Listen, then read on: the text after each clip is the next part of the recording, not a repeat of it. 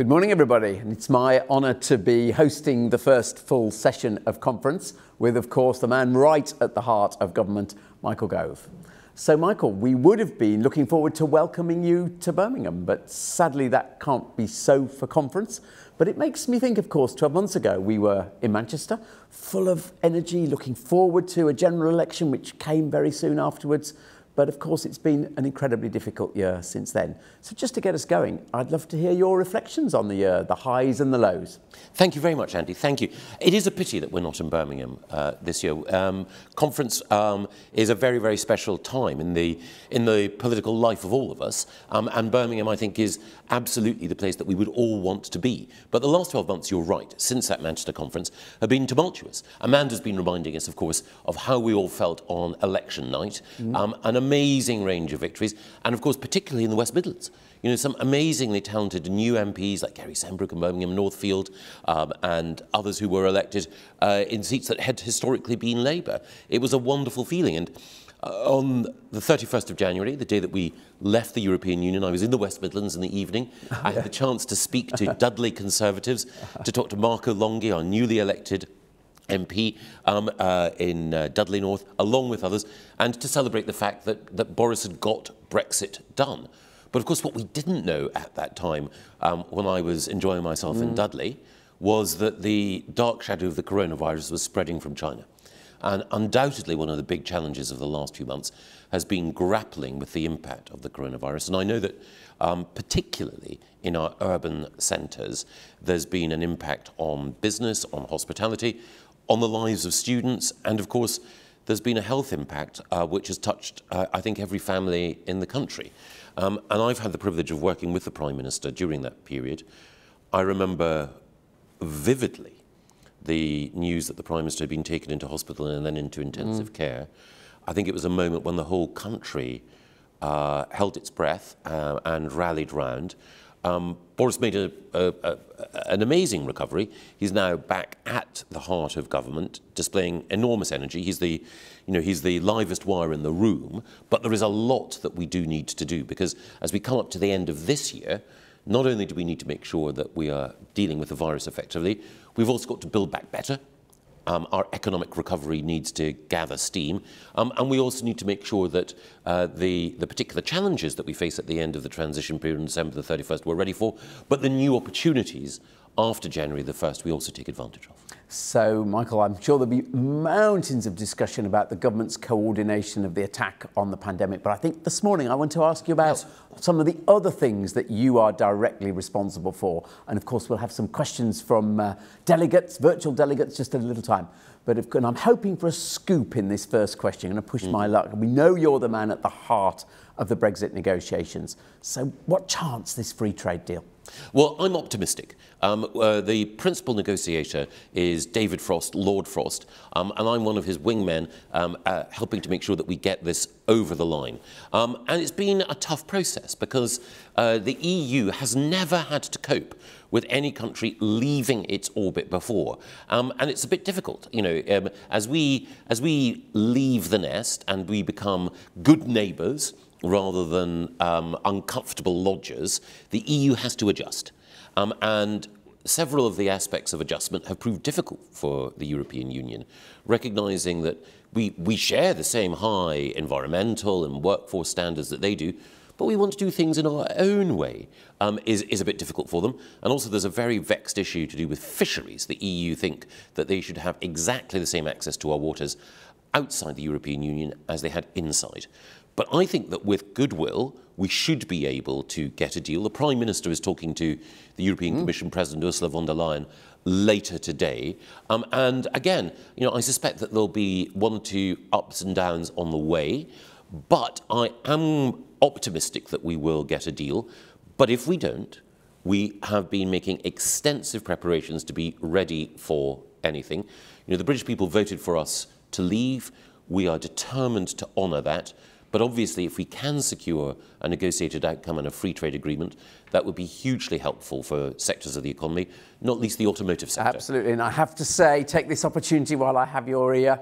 uh, that really, really matters to the West Midlands, of course, the future of the car industry. So we're very much behind you in that negotiation and hoping for that free trade deal. Well, uh, again, Andy, you've been a, a, an amazing champion for not just the, the, whole economy of the West Midlands, but in particular for the automotive sector.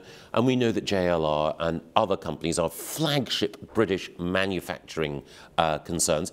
And, and it's also the case that they're forward-looking. I remember visiting with you oh, yes. and, and looking at the future mm. of transport and recognizing that we're at the cutting edge of technology. We want to do everything possible to make sure that uh, the, those great manufacturing companies and the thousands of jobs that depend on them are safe um, and are capable of taking advantage of the new opportunities that free trade will bring.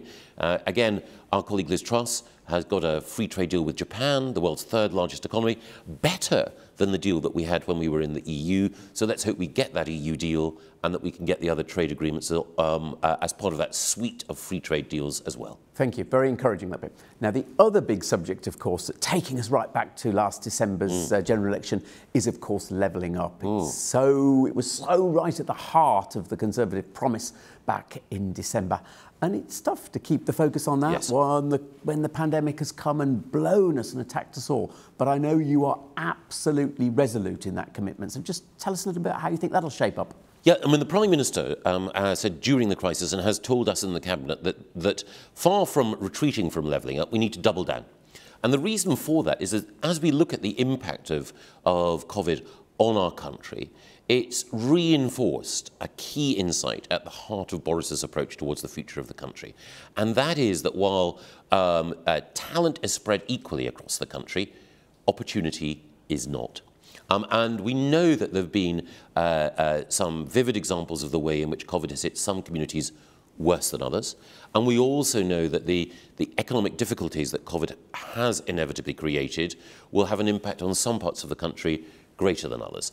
And so what we really need to do is to uh, uh, build back better by being a more cohesive country, and that means specifically making sure that in the West Midlands, in the Northwest, in Teesside and in Tyneside, that we make the investments required in order to give people the economic opportunity and the chance to recover, which is so important. And that means everything from looking at free ports, um, which will be opportunities for all of us to make sure that uh, uh, there can be new, enterprising, free trading centres of excellence in areas like Teesside. It also means that we need to look at uh, big transport projects. Uh, the government has backed HS2. It's vitally important that we build on that with improved uh, transport links across the country. But we also need to look at skills as well. And the Prime Minister outlined earlier this week uh, his approach through the Lifetime Skills Guarantee to making sure that vocational and technical education, so critical to our economic recovery, is something we invest in. And in one area that I'm particularly um, uh, close to, we're also looking at government jobs. Oh, yeah. Far too many government jobs tend to be in uh, the Westminster and Whitehall village. Um, we have an amazing civil service and it's drawn its resources and people from lots of different communities. I think we now need to give back to those communities as well. And I think we need some of the big government departments and the big decision makers, not in London, but closer to where the action is in the West Midlands, the North West, Teesside and Tyneside. That is a very encouraging answer because actually I'm going to turn to the iPad now and the questions that have come in. And the first one, in a sense, you have covered. It simply says it's from an anonymous uh, contributor. Are you going to move government departments north? And if so, will you make sure there are jobs for local people? So I think, in a sense, you've answered yes, that, Michael. No, absolutely. And, and again, one of the things uh, in the past is that people um, of great talent from across the United Kingdom have looked to London and felt that London is the place that they, they have to go in order to make sure that their, their career can develop. Um, I want it to be the case that um, uh, whether you're in um, uh, Middlesbrough or in Mansfield or in Manchester, um, that uh, economic and career opportunity is close to home in the community that you care about. Um, and that's part of what levelling up means. Absolutely. And the civil service can play uh, a part yeah. in that. And one of the things that we do need to do is to make sure that there are centres of excellence so that you have uh, uh, men and women in the civil service, men and women in the private sector, and men and women in academia working together. And that's one of the things, if I may say so, about the West Midlands, which is you've got great higher education institutions, great uh, further education uh, colleges, and you've also got an amazing private sector economy, Government needs to play its part as well in helping to bring uh, that together. So that if we're looking at, for example, at the future of, uh, of the car industry and transport, you've got uh, the, you know, the innovation of our brightest technologists, you've got the, uh, the smarts that uh, you see in uh, some of those top companies, but government also needs to play its part as well in the new energy technologies that will uh, fire up that recovery. And just an example of where that's working well, which isn't about the car industry in the West Midlands. If you take Homes England, yes. they have recently moved their second headquarters to Coventry. Yes. Brilliant that actually we've got that government agency thinking about our whole approach to yes. building more homes. And it's been, as I understand it, extremely successful. Yes, and a part of the, the, the world that's very dear to me, the northeast of England, you have uh, in Newcastle University excellence in the life sciences field. And I think one of the things that we do need to do is to recognise that our universities are often at the mm, heart mm, of right. um, economic success. Um, and we have great universities across the UK. So in places like Newcastle, uh, we really should make the most of the, uh, the constellation of talent that is there, and government has a critical role to play. Brilliant. So you've whetted the appetite of lots of people around the country for that now. So uh, they'll all be looking forward to welcoming uh, those, uh, those government organisations. Right, now the next one, while we're sticking on geographies, this is from Scotland. And it simply says, with the Scottish election next year, what is your message to Scottish voters who want to protect the Union? Well, I think uh, we're all aware that next May there are going to be really important elections um, in Wales, um, in the West Midlands, um, in Teesside, and of course in Scotland. Um, and in Scotland, the choice essentially will be between uh, uh, Nicola Sturgeon um, and Douglas Ross. I know mm. the, uh, uh, the Scottish Conservatives are the second largest party in Scotland, and uh, they are the strongest voice for keeping the United Kingdom together. Correct. Um, uh, uh, I have friends in, in uh, Scotland who are Labour and Liberal Democrat voters, and I have a lot of time and respect for them. But uh, Keir Starmer recently has said that uh, if uh, Nicola Sturgeon were to win a, uh, a mandate, as he sees it, a majority um, at the, uh, the next Holyrood Scottish Parliament elections, uh, he might consider a referendum. I don't think a referendum is in anyone's interests at all. So if we want to have a strong pro-union voice, then it's Douglas Ross and the Scottish Conservatives. But more broadly, the question will be, well, what is it about the United Kingdom that is so important, particularly at the moment? I think the COVID crisis has reminded us, actually, mm. that we are stronger together. And when it comes to the economic response that has helped protect jobs in Scotland and livelihoods in Scotland, it's been the broad shoulders of the UK Treasury, it's been the, the, you know, the great policy-making genius of Rishi Sunak that has meant that we've been able to recover together. Um, um, in a way, I think we've had the best of both worlds. We've had a devolved Scottish Parliament that can make decisions close to the ground that it thinks are right, and a strong UK government backing it up every step of the way. If, um, if Scotland were independent, then uh, it, unfortunately, the economic recovery um, would be much more uh, difficult. Uh, the uh, UK Treasury can borrow money on international markets more cheaply. The pound sterling enables us to invest in a uh, more uh, uh, secure and powerful way. Um, and of course, the UK internal market means that uh, the unfettered access that Scottish businesses have to the rest of the UK sustains more than half a million jobs. All that would be put at peril if there was constitutional uncertainty. The other thing about the United Kingdom is it's a success story about inclusion. If you look at the UK, you know, you've got the uh, four different peoples together, but it's more than just uh, Scotland, Wales, and uh, uh, England and Northern Ireland historically. Modern Britain, you'll know from the West Midlands, oh, yes. I know from um, London and Surrey, is a success story of inclusion. And if you look at our Conservative cabinet, Rishi, Alok, uh, uh, Suella, Priti, there's no other government anywhere in the world um, which is so inclusive as our own. Um, and that reflects the fact that the UK is all about working together. And I think, you know, if there's one lesson to take away from the difficult last 12 months, it is we're stronger together. And that's why the United Kingdom is something in which we want to, want to invest and strengthen. Excellent. And this won't surprise you, having had the Scottish question, someone had to put a question in from Wales. Oh. So, uh, so, so, to show our completeness over this, and yes. I'll ask you to be brief on this because some mm. other big questions coming up. Yeah. Uh, it says simply, uh, it seems that the Conservatives are looking at losing a lot of seats in Wales. I'm not so sure about that. Mm. But what do you say to the Welsh public to stick with the Conservatives? Well, I think actually there's a chance that we could have, for the first time, a Conservative First Minister in Wales. At the last general election, we won seats in Wales, and we've got fantastic new MPs like Sarah Atherton and Wrexham, uh, who are doing a wonderful job for their constituents. Virginia Crosby and Ynys Môn, a seat that's you know been uh, Labour and Plaid Cymru, Conservative MP doing a brilliant job.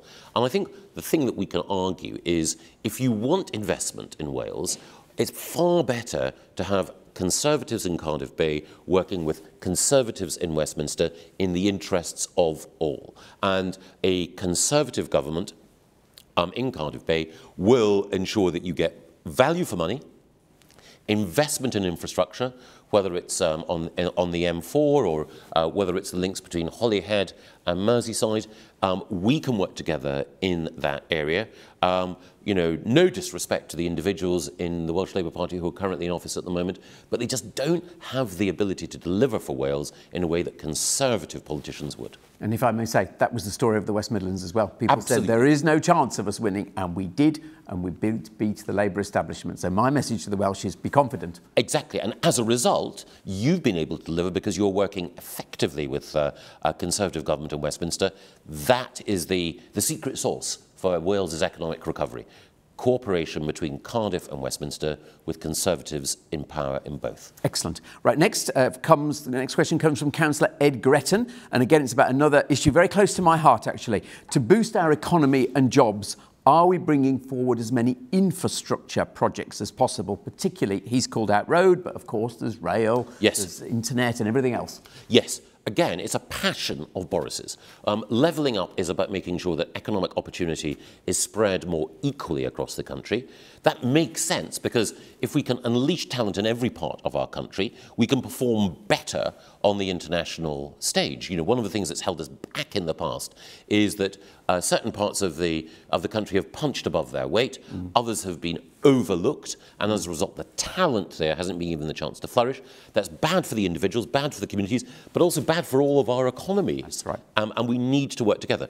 And, and critical to that is linking people up. So I mentioned HS2 briefly earlier, controversial with some, but absolutely necessary in order to make sure that the economic spine of the country is strengthened. But we also need local rail infrastructure, we need local road infrastructure, we need to improve uh, uh, the public transport system, and that's an investment not just in, in light rail, in uh, metro, and in bus networks, but we also, as you quite rightly point out, need to think about um, uh, uh, infrastructure uh, which will enable digital growth in the future. Uh, 5G is going to be critical to that. Um, and I think we need to emulate those countries like South Korea, um, which recognize that government investment in digital infrastructure helps unleash the private sector's creative energies to, to generate the jobs that will drive prosperity in the future. So, uh, Councillor Ed, I think we can call that a pretty categoric answer there, Absolutely, Michael. Yes. And I have to say, thank you for the support for HS2. No. Really critical to the Midlands going forward. Now, you mentioned changes and mm. uh, as a result of COVID. And this one from Dr. Mario uh, Trabucco simply says, what do you think about the working from home revolution yes. as a chance to actually be part of the levelling up agenda through the redistribution? Yes. Yeah. I think, I think it's a very perceptive question. Um, I think that um, working from home has, of course, been enabled by um, the, you know, the digital infrastructure that we have. So uh, people, particularly, obviously, um, in office roles, have found that uh, Zoom and, if I'm allowed to say, Microsoft Teams have, have, have, enabled people to work in, in new ways. Um, I think the future for many will be a mixture of working from home and working in the office. The, the future won't be uh, completely one or the other. Um, it will be a combination. There are, you know, as human beings, we, we thrive on social contact, but it can also be the case that working from home means that it is easier to combine work and family life. Um, and it's also sometimes the case that productivity can be far greater when freed of, of some of those distractions and able to concentrate um, on the task in hand. Of course, we also know that there are some jobs which you just obviously cannot do from home, and that's why during the course of this crisis, we've been very clear that in a COVID-secure workplace, whether that is a, uh, a factory or a school, um, then uh, life can go on not quite as before, but people can be working um, uh, uh, in uh, that environment that uh, they've been used to.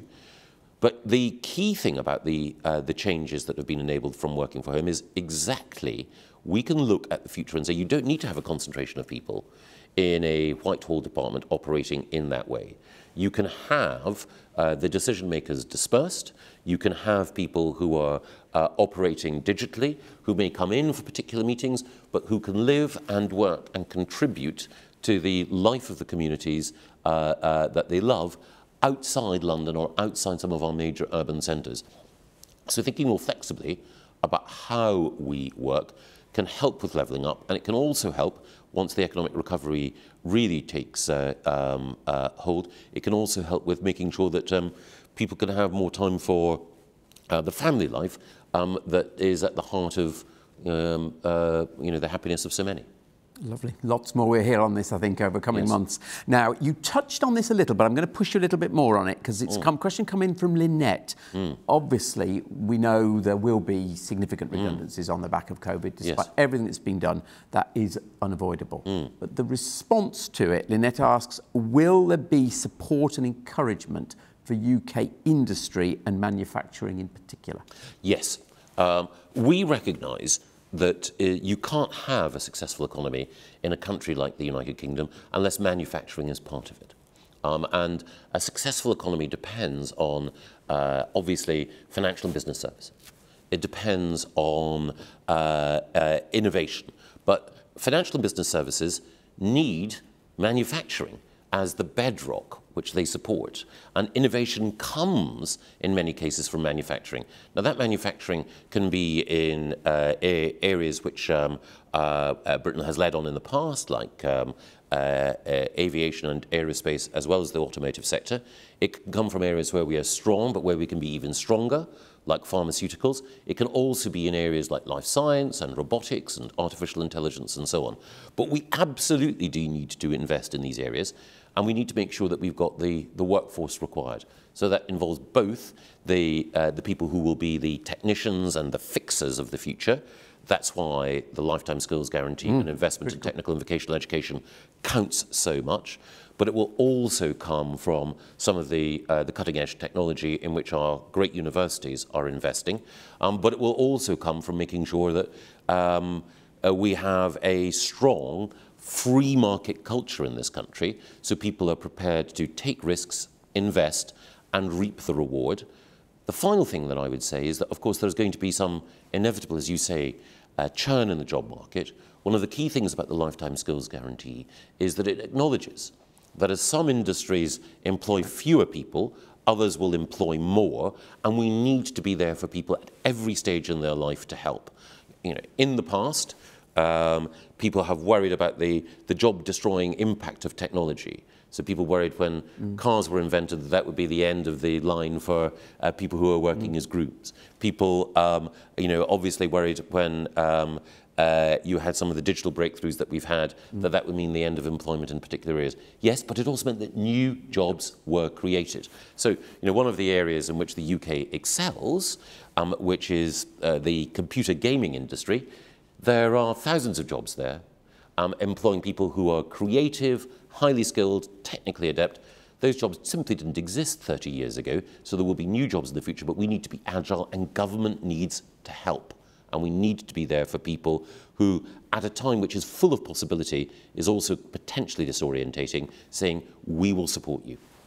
So that's why the retraining is so important. So, uh, so if I may just say, it was lovely to hear the Prime Minister call out what we called our digital boot camps when he did his speech oh, yes. on Tuesday. Great success, mm. we piloted, great to see that now being taken nationally, but it's exactly what you're talking about, yes. Michael. Now, the next question is completely different, and I know you feel very strongly about this, so I'll read it out word for word. Sean Hegarty asks, how can we help those who say they are unable to openly share their political opinion in fear of backlash from friends, family unions, employers, and so on? On?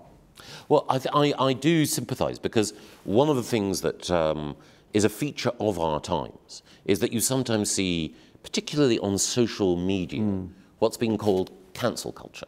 Mm. Um, and that means that if people uh, uh, say something that uh, others deem to be uh, beyond the pale, um, then they're told um, uh, your views are, are wrong or disreputable or unworthy. I think free speech is so important. It's the way in which society moves forward and makes progress. We test ideas. We should always do that in a courteous way and a respectful way and learn from others. And if any of us uh, you know, find that a, a strong contrary view is put forward, we can always learn from that. But uh, one of the things that is particularly difficult, I think, is that there are some workplaces where people who are conservative or right of centre feel that it is something that they, they have to hide.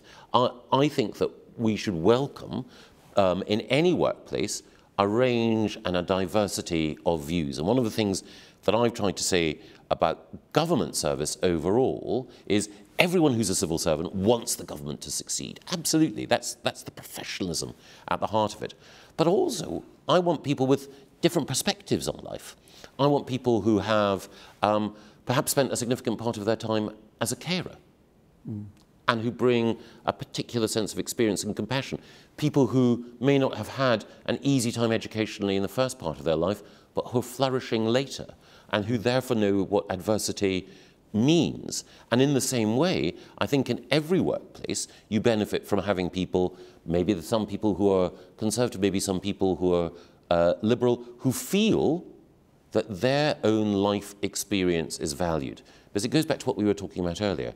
Countries only succeed when you think that everyone yeah. is valuable. And, and you may disagree with someone, but if you make the effort to understand, you benefit as a result, and we're all stronger. Excellent. So, Sean, I hope that's encouraging answer for you. Now, we've got time for just two more questions, if we're relatively quick, hint, mm -hmm. hint. So, the first one comes from Lynn Jameson. And again, I think this is very interesting.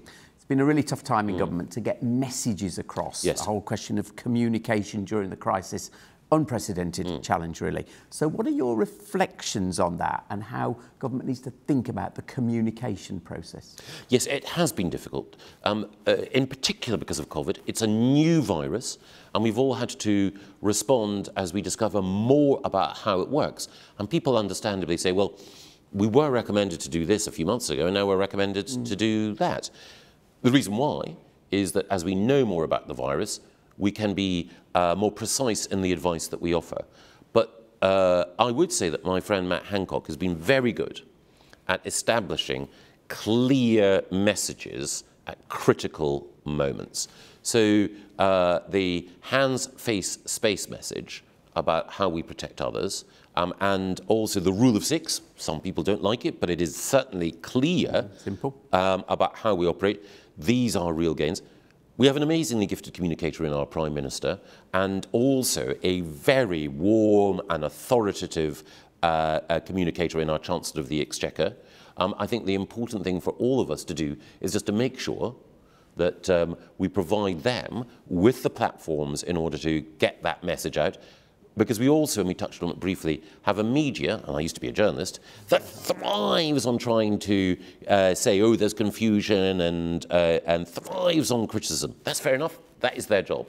But our job as conservatives is to make sure that the, the clear leadership that the PM, the Chancellor, Matt, and others are showing is reflected in the messages that we get across. And of course, the other thing is that for people listening and watching, if you think there are ways in which we can sharpen our message, let us know because you know, we benefit from having a huge array of, uh, of members who care about this country and want us to get it right. And of course, all that will be tested as we move through the next stages of Brexit, of course. Absolutely. Big, big, test. Now, the last question, maybe I've done it as they do it on the television and the radio, slightly different question at the end, a little, little bit more personal question. So, you've held all sorts of senior jobs mm-hmm. in government, and the question comes from Jake Atterbury, and it simply says, which has been your favourite and why?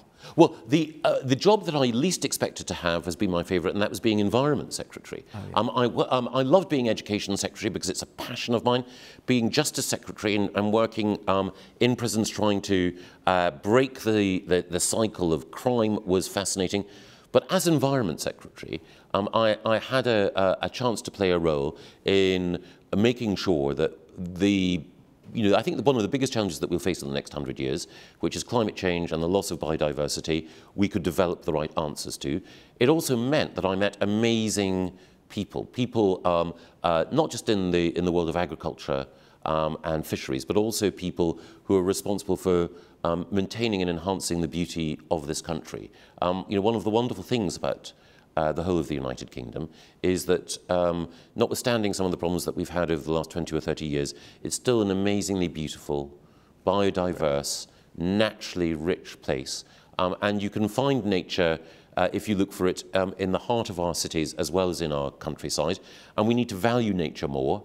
Um, I think all of us recognize that in the course of this crisis because, um, you know, as Emmanuel Macron said, there is no planet B.